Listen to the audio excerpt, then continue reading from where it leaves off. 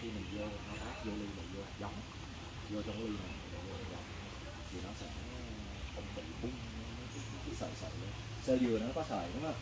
Còn một dừa này nó không kịp nhiễm rồi các bạn biết rằng cái ống này có tàu rất đặc biệt cái chỗ cái ống này là nhập từ Thái Lan người Việt Nam nghĩa là trong cái ống này á là người ta thiết kế rất là đặc biệt là trong cái rãnh ống đó nó có những cái đường ra như thế này để mà khi mà nước cái rãnh nhỏ để mà làm cho nó không bị đóng răm nên đó là một cái, cái yếu tố đặc biệt cho nên một mét ống như thế này á giá trị nó rất là cao. Cho nên riêng đầu tư một cái vườn nho nhỏ thế này thôi là phải tính tiền tỷ chứ không phải là tính bình thường. Như một cái ống như thế này thì nó giá bao nhiêu anh hiện tại là nó đang 75 ngàn một mét. Một mét đó một cây như thế này thì các bạn tính 6 mét. 6 mét. Đó một cây nó là mươi sáu bao nhiêu? Ờ, rồi một cái cây thế này nó tính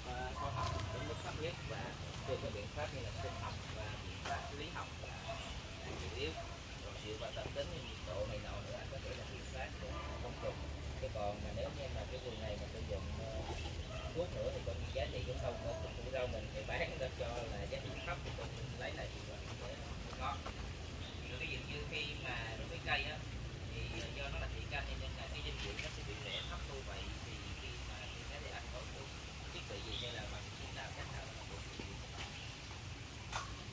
bổ sung dinh dưỡng nếu mà bổ sung dinh dưỡng bổ sung dinh dưỡng thì người mà làm không có tập tay vô sơ chế nó về nó đâu phải lạc ở đâu, mình tìm những cái lá sâu, lá xấu á ngắt đi ngắt đi như vậy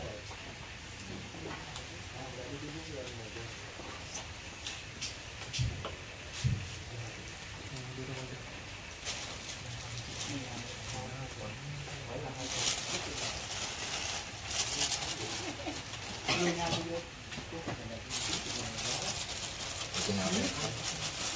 Sáng nay mai ờ, cho nó đi ờ, tham quan cái mô hình trồng hoa chậu nữa.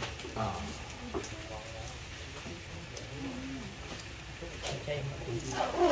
Qua bên nhuận là cho đủ. À, quan nhận em. Chết mẹ sao nó héo rồi. Bỏ mình xe do em tính gửi em sơn cái ớt bỏ mình xe nó héo mất tiêu rồi. À cái ớt ra.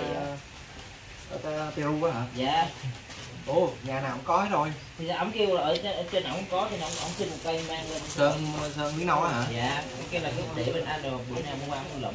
Ở kia đó để tưới vô đi coi nó ngồi không? Bữa giờ để, để con xe là nó nóng đó là nó